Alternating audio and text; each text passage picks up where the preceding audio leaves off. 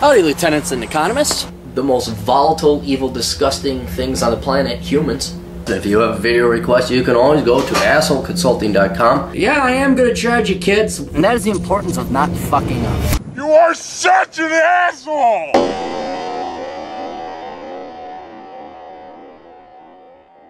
assholeconsulting.com. Go there, give me your money. Uh, this is a short one. Author writes. Hey, so it's my first year in college, and I finally decided my major. Turns out I want to become a sales engineer. Since business majors are worthless, smart man, I, just, I stayed away from those. I did research myself, and it seems sales engineers are always in demand. I also don't believe that crap. Do what you love, and you'll become rich. That being said, uh, do you think sales engineer has the potential to generate mid six figures? The job also is based on commission. So to sum up my entire question, becoming a sales engineer, or is becoming a sales engineer rewardingly, uh, rewarding financially? Let me know what you think.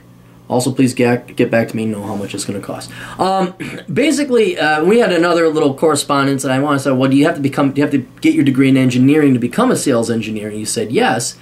And so, frankly, I don't see the drawback of this. Um, the, what you don't want to be as a, a salesman and they exist out there that try and sell products they don't understand and they don't have the engineering background. Shit, half of Dilbert's cartoons is written about that.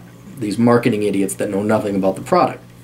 Uh, but if you got to become an engineer, you have to be you have to get your degree in engineering. Well, even if you fail as a sales engineer, then you would have a very very good plan B to fall back upon, and that would be an engineer. And on top of it, it's not like it would be bad for you to be an engineer for a while to understand these products and then try and get into the sales aspect of it. So I think, yeah, I think it's a very good idea to become a sales engineer, but you wouldn't major in sales engineering or engineering sales. You would major in computer engineering, mechanical engineering, something. Uh, and then you would go and try and sell that. Uh, maybe have a minor in marketing. I would uh, that would be the way to go. Uh, I wouldn't spend too much more than a minor in marketing on it. Um, but yeah, that that would I would almost maybe just go take some outside certifications because uh, it'd be cheaper uh, than getting a minor in uh, in marketing. But it's it's not going to hurt. You want you want to show your employer somehow like, look, uh, I I am an engineer, but I really do want to get into marketing and selling the the engineered products.